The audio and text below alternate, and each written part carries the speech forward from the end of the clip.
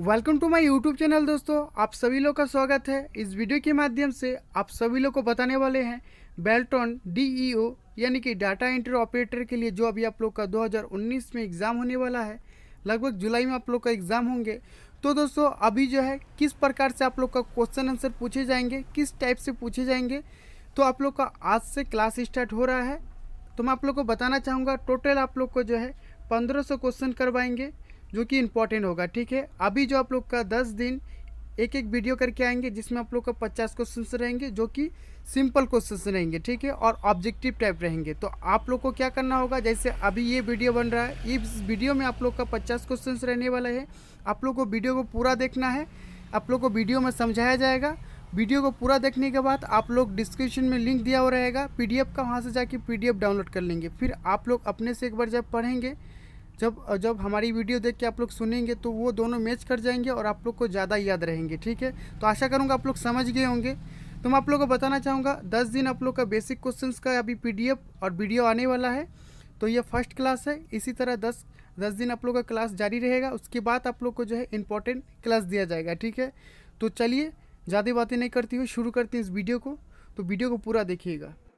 Hey guys welcome to the R P I education and मैं यहाँ आई हूँ स्पेशल क्लासेस के लिए फॉर बेल्ट्रॉन एंड मैं यहाँ प्रैक्टिस कराने वाली हूँ। अगर आपको बेल्ट्रॉन के प्रैक्टिस के पीडीएफ चाहिए तो इसका लिंक डिस्क्रिप्शन बॉक्स में दिया है। वीडियो को अंत तक देखिए।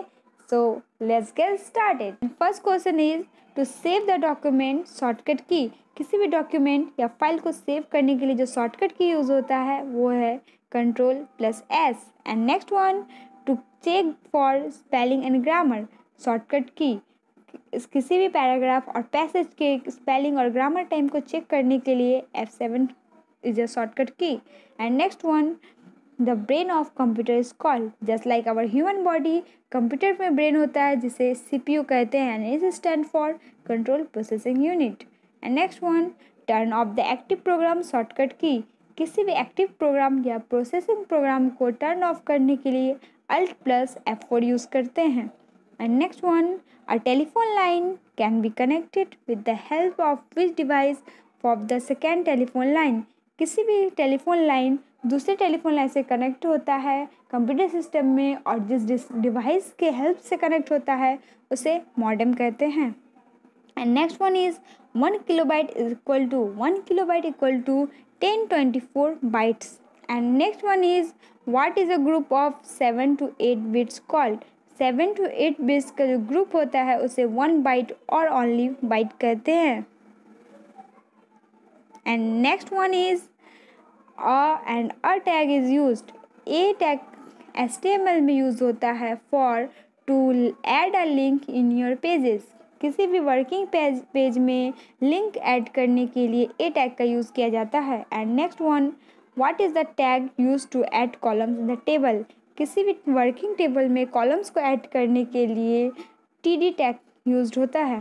And next one is repetitive question and is a very important question and next one is how do you create a list item list with numbers list item list को number के साथ create करने के लिए O L tag use होता है। And next one what are Linux Linux is an operating system just like Unix and next one what is seen by the command in Linux Linux में command का use करके क्या देखते हैं? That who is log in किसने log in किया है? And next one is the use of R of command in in linux. में आर rm कमांड जो होता है, उसका यूज़ किस लिए किया जाता है? And that is for deleting the file और फ़ाइल डिस्क्राइब किसी भी फ़ाइल को डिलीट करने के लिए या उसे डिस्क्राइब करने के लिए आर एम कमांड का यूज़ किया जाता है लाइनेक्स में. And next one is which command is use to clean the screen in Linux Linux में कौन सा कमांड का यूज़ करते हैं? स्क्रीन को क्लीन करने के लिए and that is clear command and next one what is the command to create a duplicate file in Linux कौन सा कमांड का यूज़ करते हैं डुप्लीकेट फ़ाइल को क्रिएट करने में लाइनेक्स सॉफ्टवेयर में और लाइनेक्स ऑपरेटिंग सिस्टम में? That is copy command and next one which feature will open a new page in a new window कौन से फीचर्स से न्यू विंडो में एक न्यू पेज को ओपन करते हैं। And that is copy command and next one what is the command to create a duplicate file in Linux a duplicate file जो होता है, उसको क्रिएट करने के लिए target equal to under blank in double quotation use करते हैं। And next one is full form of U R L. U R L का फुल फॉर्म होता है universal resource locator.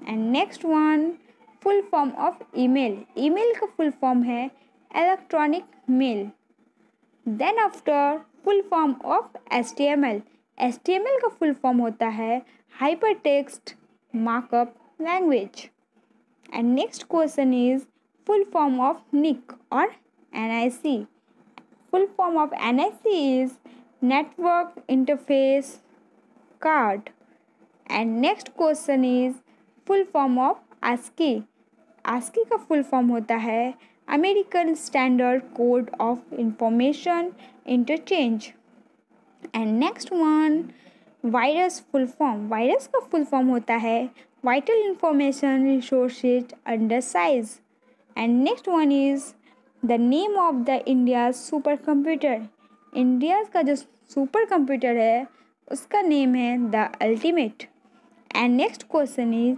the full form of the C D ROM C D ROM का full form है compact disc read only memory and next one is word full form of XML XML जो word है, इसका full form है extensible markup language and next one is the data that gets information about other data is called कोई भी data अगर किसी दूसरे डाटा का इंफॉर्मेशन मिलता है, उस डाटा को मेटा डाटा कहते हैं.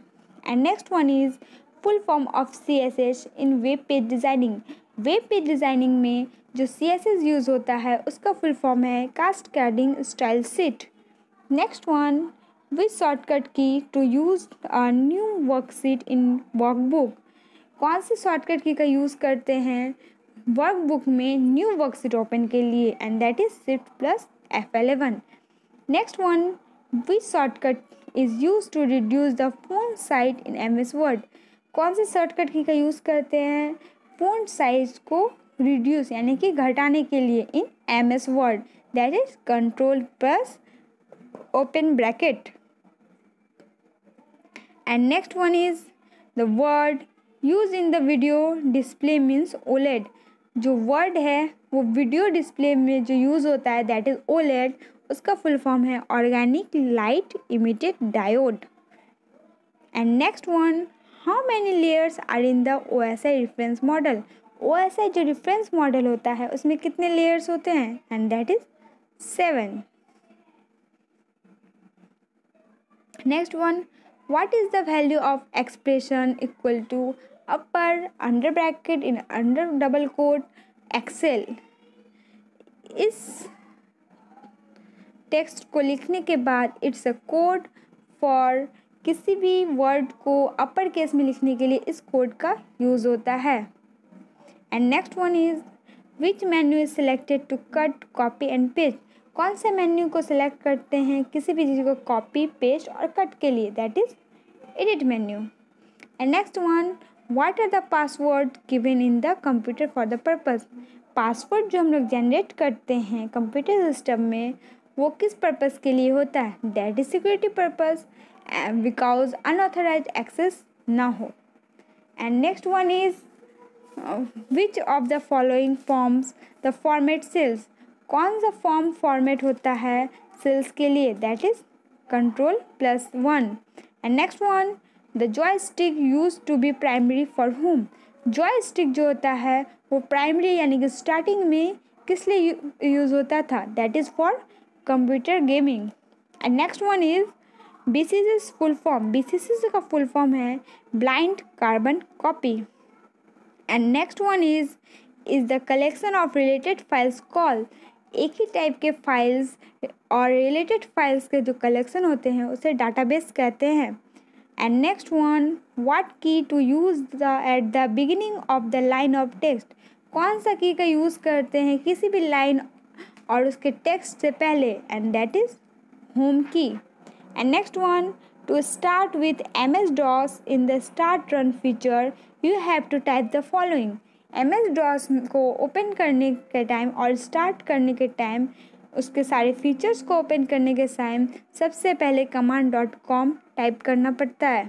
And next one who tells the computer how to use its component computer को कौन बोलता है, उसके कंपोनेंट्स को कैसे यूज़ करना है, कैसे उसका फीचर्स जानना है? That is an operating system and next one Tally is use in which of the following Tally का यूज़ किस चीज़ में करते हैं? And that is in accounts and next one a column of table is called table का जो columns होते हैं, उसे क्या कहते हैं? That is an attribute and next one what is the need to restart and on computer computer को restart करने की क्या ज़रूरत है? That is all for warm booting and next one what is the storage area of email messages email के जो message होते हैं, उसका स्टोरेज एरिया क्या है? वे कहाँ पे जाके स्टोर होते हैं? In mailbox and next one all deleted files go into सारे जो डिलीटेड फाइल्स होते हैं, वो जाके स्टोर रहते हैं in recycle bin and next one the main page of the website is called its जो मेन पेज होते हैं किसी भी वेबसाइट के, उसे उसका होम पेज कहते हैं। And next one microcomputer started microcomputer जो है वो सबसे पहले फोर्थ जनरेशन में स्टार्ट हुआ था। एंड हे गाइस अगर आपको वीडियो अच्छा लगा then comment down below and like the video subscribe the channel and share with your friends and ऐसे वीडियो देखते रहने के लिए बने रहिए हमारे साथ। Thanks for watching